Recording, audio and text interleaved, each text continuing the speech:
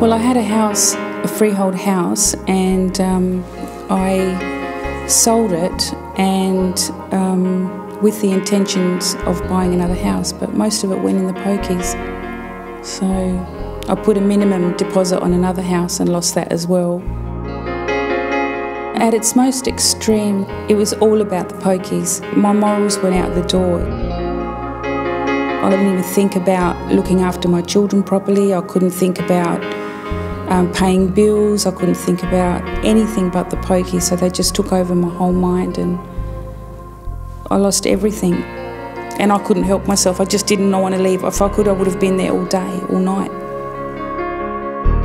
I know they're very addictive and I know that they've got a very strong hold on people. And I hear it in the groups that I run. Uh, I hear people that don't have problems like divorces and things like that going in with friends after work playing a little bit and then leaving and then going back the next week playing another five dollars and before they know it they're in there all the time um, with a fully blown addiction. I am an artist before this life and um, it was a way of expressing myself and another way of healing as well and remembering quotes and feelings through the artwork. I would never have seen myself in that position ever, ever. I can't believe that's me even. I'm even embarrassed today and sometimes still ashamed that I did that for 10 years. I was ready to stop from the beginning, but I couldn't stop.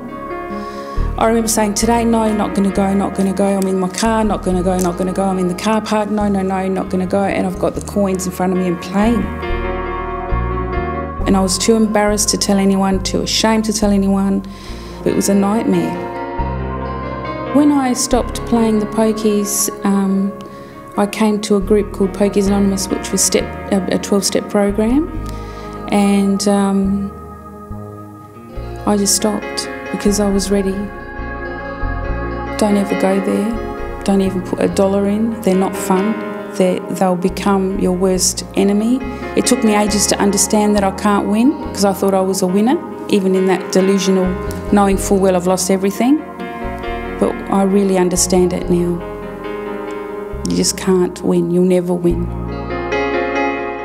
It's been nearly seven years since I've stopped, and um, sometimes I look back and I think, why did I do that? Why me? What happened? How come? You know?